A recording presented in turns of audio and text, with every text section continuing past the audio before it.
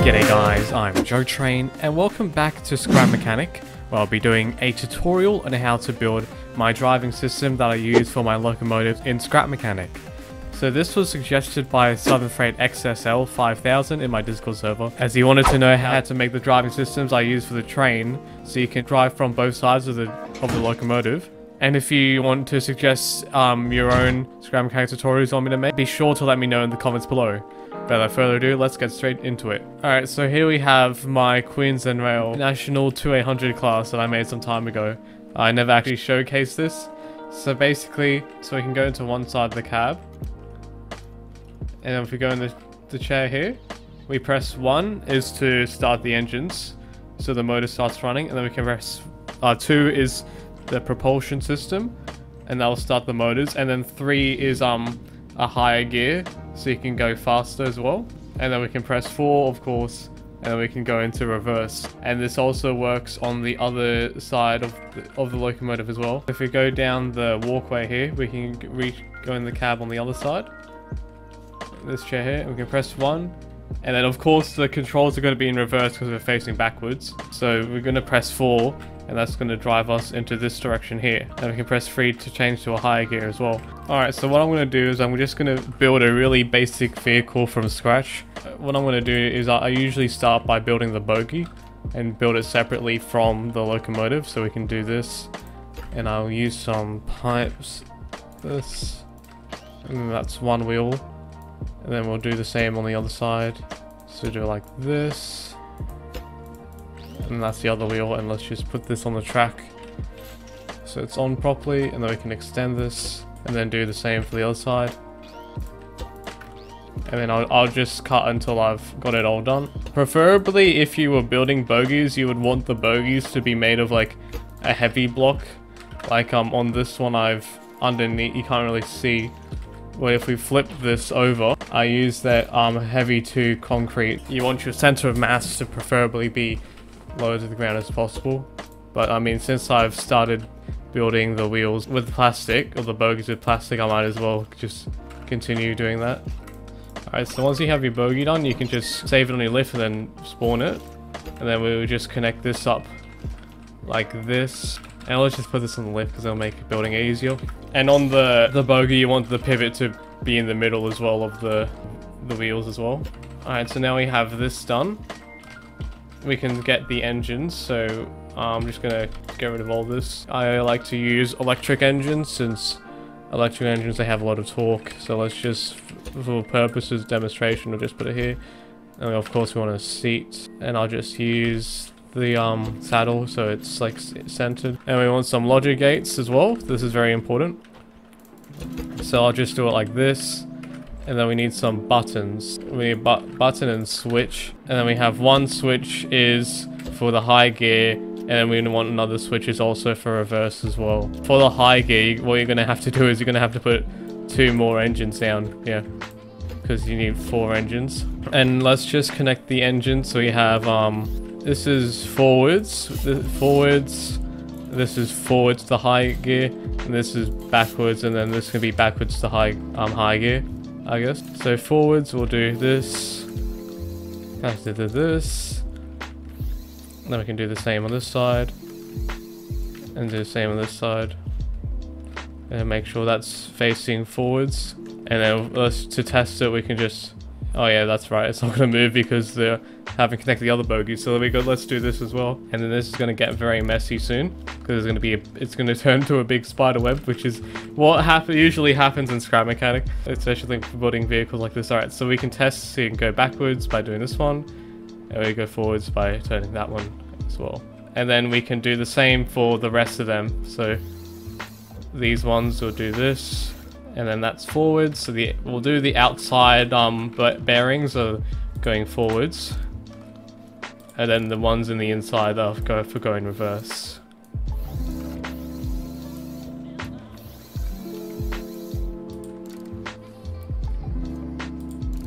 Right, and we can test this as well. So just there we go. That's going forwards. This is a an, another tip as well. If when um working with low physics qualities, let's spawn this in, because it, it, does tend to get quite laggy in Scrap Mechanic. Let's say we turn this all the way down. You see the wheels? See how they sag on the low physics quality? There is a way to fix this. And all you have to do is just add some more bearings on the um the ends of the wheels and these would be um free flowing. So they won't actually be powered. And then we can just connect them up like this. And then we can just weld it like this, weld it like this to this, this to this, and then do this to this, this to this. And and if you you're good, you can also make it look more realistic as well. So I have like um some bogies. I have like this these these ones. All right, so now we've got all the wheels connected up. I just realized we need we're gonna need another switch. Someone is pinging me. Don't ping me right now. I'm recording. All right, so we're gonna need we're actually gonna need um four switches for this. So we need one switch that's for this to start the engines.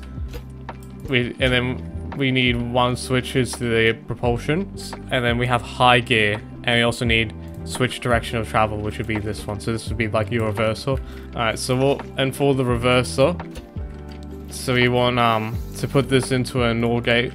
So when it's not on, you want this and this one to be on. Um, but first, let's just turn, let's connect this, the um starter, and to all of these, so with that way we don't accidentally um start the engine. And let's actually get in the seat here as well. We can hook this up all into the seat. Just like so. And then we need to hook this onto um the green ones. And then we can hook the switch into the red ones. So when the green ones are active, let's activate the switch. So when this is activated, it will activate these ones to go forwards. Eh, but then if we press this, it will activate the red ones to go backwards. And then we can unhook this into this one, into the green, and then hook this into the red. So if we press one, oh yeah, and also we want we might want to hook this into all the this one into all of them. So press one, and then we can um press two. Hang on. We're gonna, oh, if didn't turn the um, engines up, that's probably gonna help to move. Alright, let's press one, and we can press two, and see we're moving forwards. And then we can press um four, and then we'll head backwards. Yeah, and that's only using the um the low gear. And then, so if you to make the um high gear, we're gonna have to get another logic gate here. I'm kind of like, it's kind of squished up against that one, so I'll, I'll put it like here. Let's just color code this so it's not as confusing. So I reckon high gear and then reverser is like black, I guess. Well, sure, why not? Alright, um, so this, we want to put this as a NOR gate as well. Kind of similar to this, but of when the um the high gear is turned on, we want both of these to be activated. So what we can do is just hook this into these ones here. Uh, and then we can hook these into these engines. Let's just turn this up. So if we press 1, we'll move, but if we press 3, it will activate all of them. And so now we're going a lot faster, because all of the, the wheels are spinning, and then same in reverse. So if you press 2... I mean, let, hang on, let me just... Just to showcase this better, I'll just turn these engines down. There you go. So if you press 2, Okay, man, that was too too far down. Press two. See, we're not moving very fast. We press um three, and then we're moving very fast. Moving a lot faster now because all the wheels are spinning. And then we can also utilize this system to make um to make lights as well. So if we have um some headlights here, we can put some headlights on the front. And then some reverse lights as well. And we can put them on the um the back as well. And then we need and then we'll have them the red ones for reverse. And then we're gonna need another switch.